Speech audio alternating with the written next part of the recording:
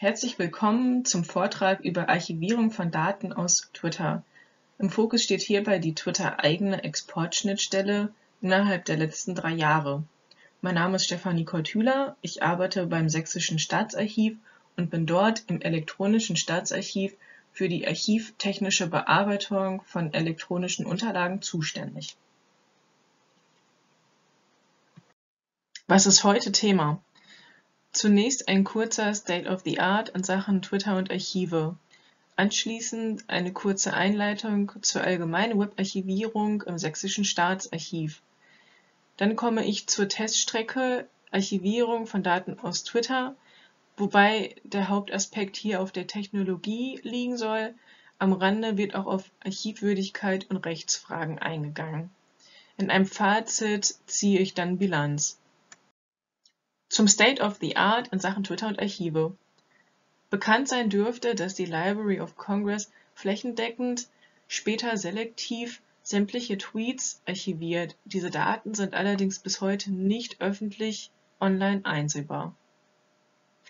Das Sächsische Staatsarchiv hat 2018 damit begonnen, sich näher mit der Twitter-Archivierung zu beschäftigen 2019 auf der AODS hält Herr Willi vom Doku-Team einen Vortrag, in dem er unter anderem auch auf die Archivierung von Daten aus sozialen Medien eingeht. Anfang 2020 erscheint eine neue Droid Signature File, die auch die Tweet-JSON beinhaltet. Diese Signature ist allerdings bis heute relativ instabil. Herr Worm vom Stadtarchiv Münster bloggt Anfang 2020 ebenso über die Twitter-Archivierung und nimmt dabei verschiedene Werkzeuge zur Twitter-Archivierung unter die Lupe. Im gleichen Monat vermeldet das Hauptstaatsarchiv Wiesbaden, dass auch sie Twitter-Daten aus einem Account übernommen haben. Der Tag der Archive im letzten Jahr trug in seinem Motto ebenso das Wort Tweet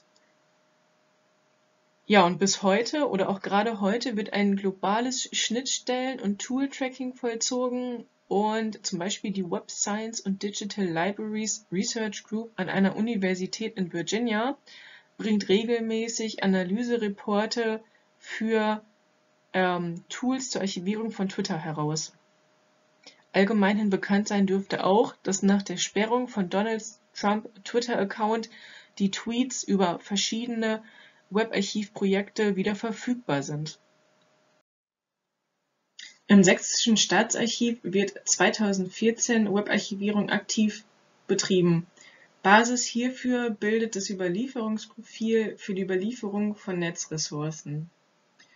Sämtliche Webauftritte anbietungspflichtiger Stellen, die innerhalb der Domäne sachsen.de publiziert werden, werden dabei erfasst. Hierbei handelt es sich um Behördenauftritte und um Themenportale Seit 2016 werden Turnus-Crawls halbjährlich ausgeführt und der letzte Turnus-Crawl in 2020 umfasste etwa 280 Webseiten. Seit 2018 beschäftigen wir uns zudem mit der Archivierung von Daten aus sozialen Medien. Angefangen haben wir dabei mit Twitter. Wir haben uns angesehen, wie andere Einrichtungen eventuell schon Twitter archivieren. Außerdem haben wir eine Liste von potenziell in Frage kommenden Twitter-Accounts anbietungspflichtiger Stellen im Freistaat aufgestellt. Zu dem Zeitpunkt kamen etwa 30 Accounts zusammen. Wir sind zu einem Zwischenfazit gekommen, dass die Archivierung von Daten aus sozialen Medien nicht pauschal möglich ist. Neben Twitter sind natürlich in den letzten 20 Jahren weitere soziale Medien aufgetaucht Archivfachlich sollte sich da zum Beispiel die Frage gestellt werden, ob die anbietungspflichtige Stelle über eine Social-Media-Strategie verfügt und ob sie noch weitere Social-Media-Kanäle bespielt. Archivtechnisch bzw. allgemein technisch sollte bedacht werden, dass jedes soziale Netzwerk anders funktioniert. Manch System mag systemeigene Schnittstellen haben für andere liegt vielleicht schon ein externes Tool zur Erfassung der Daten vor. Außerdem sollten juristische Fragen gestellt werden. Was sagen die Twitter-AGB? Was bedeutet eigentlich Crawlen und Scrapen? Was ist erlaubt, was nicht? was passiert mit Inhalten von Dritten, also zum Beispiel Kommentare aus fremden Accounts. Wie sieht Twitter nun konkret aus? Auf der rechten Seite ist ein Screenshot zu sehen. Der zeigt einen Ausschnitt aus dem Account vom Sächsischen Ministerium des Innern. Bei Twitter handelt es sich um Gezwitscher. Es ist ein Microblogging-Dienst, mit dem man telegrammartige Kurznachrichten in Echtzeit publizieren kann. Die Posts werden dabei blocktypisch chronologisch angeordnet in einer sogenannten Timeline.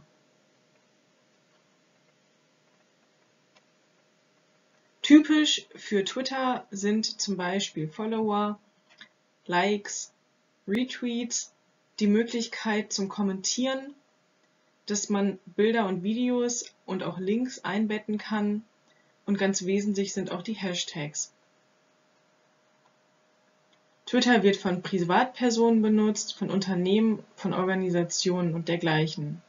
Es wird weniger im privaten Umfeld als Messenger benutzt, sondern vielmehr, um ein breiteres Publikum zu erreichen, eine breitere Öffentlichkeit, sodass am Ende auch Retweets und Follower nicht wirklich kontrolliert werden können.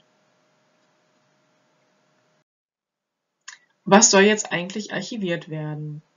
Über die Festlegung von signifikanten Eigenschaften kann ein Objekt näher definiert werden. Einerseits kann sich am Aussehen orientiert werden. Allerdings ist hierbei zu beachten, dass Twitter natürlich je nach Endgerät schon einmal anders aussehen kann. Weiterhin ist zu beachten, dass einige Funktionen wissentlich nicht erhalten bleiben sollen, andere hingegen jedoch schon. Zum Beispiel ist das Kommentieren, Teilen oder Liken natürlich dann nicht mehr gewünscht bzw. möglich, wohl aber eine Recherchierbarkeit, Filtern und Sortierbarkeit. Welchen Inhaltsumfang möchte man archivieren? Wird die Vollständigkeit der Posts relevant? Sollen Retweets mit übernommen werden? Sollen Kommentare mit übernommen werden? Liegen Metadaten zum Account vor? Können auch Medien wie Bilder und Videos übernommen werden?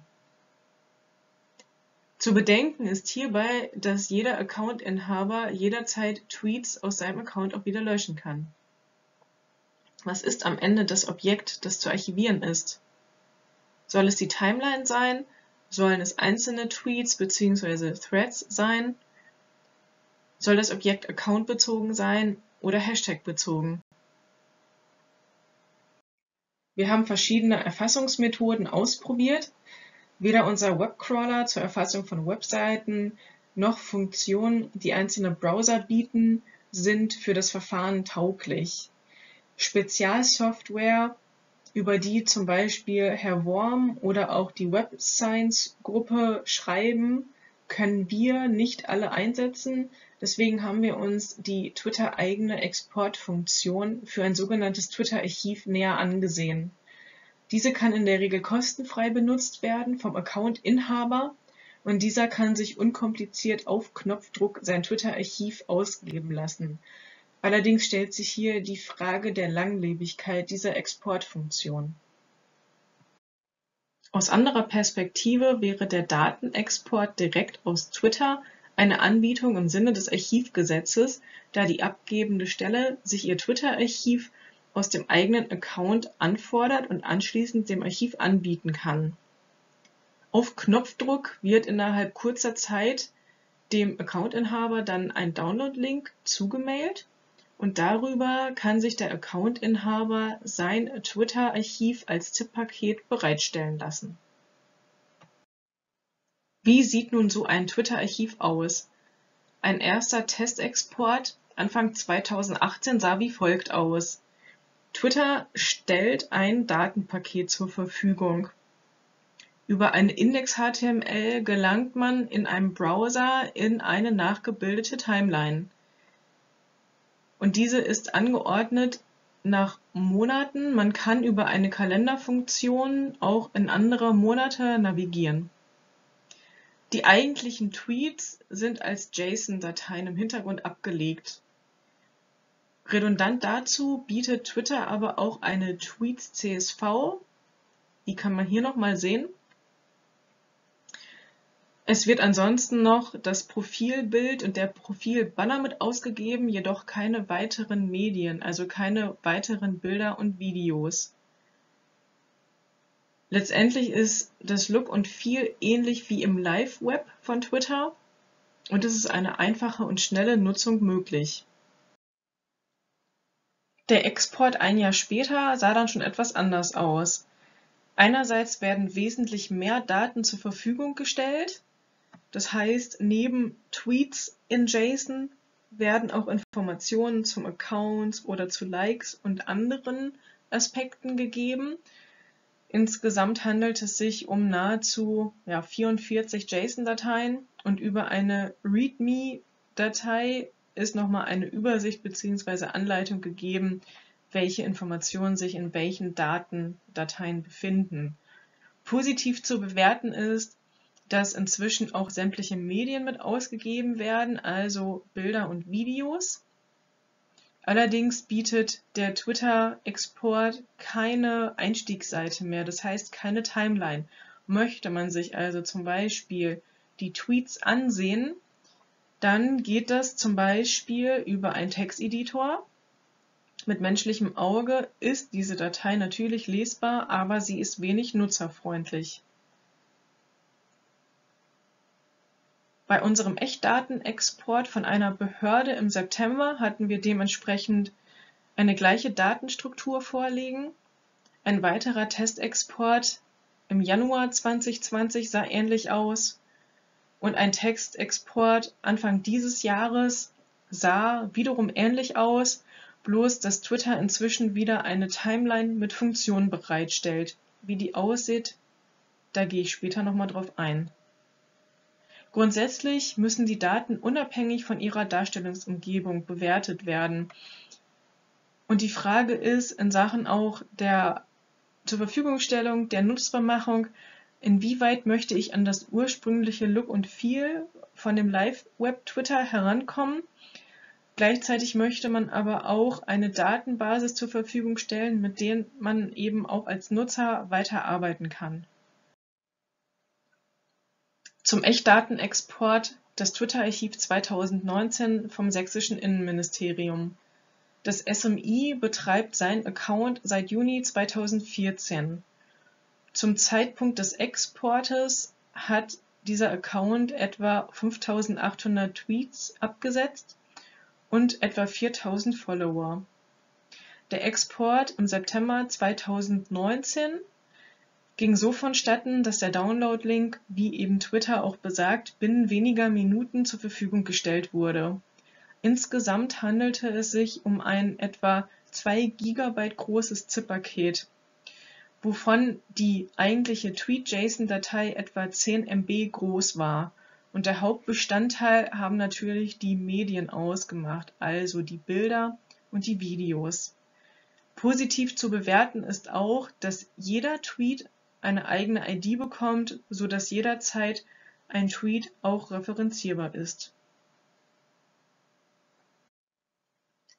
Hier ist nochmal ein Beispiel für einen Tweet.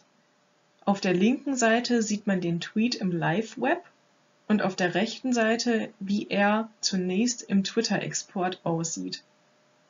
Die beiden Tweets haben im Grunde nicht mehr viel optisch gemeinsam, einzig der Text es auf den ersten Blick übereinstimmt. Was haben wir jetzt im Archiv gemacht? Einerseits haben wir versucht, anhand der JSON-Datei wieder eine HTML-Timeline zu generieren. Das haben wir gemacht, indem wir Datentransformationen vorgenommen haben Als Alternative hat ein Kollege von mir die JSON-Datei in eine Datenbank überführt. Großer Vorteil hierbei ist, dass die Daten sortierbar sind und auch filterbar sind, während die Daten in der HTML-Timeline natürlich auch durchsuchbar sind. Wenn man aber größere Auswertungen machen möchte, dann ist die Datenbank viel komfortabler. Wir haben das Twitter-Archiv analysiert und haben dabei verschiedene Feststellungen gemacht. Twitter sagt zwar, dass angeblich nur die chronologisch letzten 3200 Einträge ausgegeben werden, anhand unseres Echtdatenexportes konnten wir das aber nicht verifizieren. Nachdem wir die JSON in die Datenbank überführt haben, wurden mehr als 3200 Einträge sichtbar. Außerdem beinhaltete der Export auch den als allerersten getätigten Tweet. Was nicht ausgegeben wird, sind die Kommentare Dritter. Außerdem sind Retweets abgeschnitten. Auf der rechten Seite im Screenshot sieht man nochmal ein Retweet im Live-Web. Auf der linken Seite sieht man das Ergebnis aus dem Twitter-Archiv. Hier wird ein Retweet abgeschnitten. Twitter nutzt einen eigenen Kurzlinkdienst, erkennbar an t.co. Mit diesen Kurzlinks werden sowohl Links innerhalb von Tweets versehen, jedoch nicht überschrieben, als auch die Tweets selbst. Twitter nutzt diese Methode zur statistischen Erfassung, sofern eine Internetverbindung vorliegt. Außerdem werden redundante Informationen ausgegeben. Zum Beispiel sieht man das an den Videos. Diese liegen teilweise in bis zu drei verschiedenen Auflösungen bzw. Qualitätsstufen vor. Vermutlich liegt es daran, dass Videos für verschiedene Endgeräte bereitgestellt werden. So ein Twitter-Archiv bringt allerdings noch weitere Herausforderungen mit sich.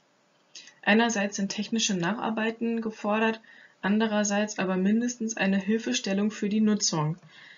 Konkret bedeutet es, dadurch, dass Inhalte nach JSON transformiert werden, ist auf den ersten Blick nicht eindeutig, was sich hinter einzelnen Zeichen befindet, so zum Beispiel Steuerzeichen, in diesem Falle ein Zeilenumbruch, der in der JSON-Kodierung zum Beispiel so aussieht. Weiteres Beispiel sind Emojis, die natürlich dann nicht mehr in Bildform vorliegen, sondern eben auch in einer anderen Kodierung. Außerdem muss man wissen, dass in der Tweet-JSON die einzelnen Tweets nicht chronologisch sortiert sind. Erschwerend kommt dabei hinzu, dass Twitter eine bestimmte Zeitstempel-Syntax bereitstellt. Und zwar fängt es an mit dem Namen von dem Tag dann kommt ein Teil des Datums, dann kommt eine Uhrzeit und zum Schluss kommt die Jahreszahl. Dadurch, dass die Medien separat mitgeliefert werden, werden sie einerseits zwar positiv über Identifier referenziert, andererseits muss eben für die Nutzung auch sichergestellt werden, dass ein Nutzer jederzeit die zugehörigen Medien zu einem Tweet wiederfinden kann. Letztendlich sieht dann unser AIP zur Archivierung der Echtdaten wie folgt aus. Wir werden die Exportausgabe, die JSON im Original mit übernehmen, damit weitere Bearbeitungen vielleicht auch durch den Nutzer in Eigenregie vorgenommen werden können. Als weitere Nutzungsvarianten werden wir die Datenbank und auch die rekonstruierte HTML-Timeline zur Verfügung stellen. Wir haben seitdem weitere Testexporte vorgenommen. Ein Twitter-Archiv ab Mitte 2020 ist hinsichtlich der Datenstruktur nahezu unverändert zu den bisherigen Exporten. Es liegen weiterhin JSON-Dateien zum Beispiel für die Tweets vor. Die Retweets sind weiterhin gekürzt verfügbar. Positiv zu bewerten ist allerdings, dass Twitter eine Einstiegsseite, eine Startseite zur Verfügung stellt, Außerdem wird eine Timeline rekonstruiert und es werden Medien automatisch mit integriert. Des Weiteren bietet Twitter eine komfortable Sortier-, Filter- und Suchfunktion.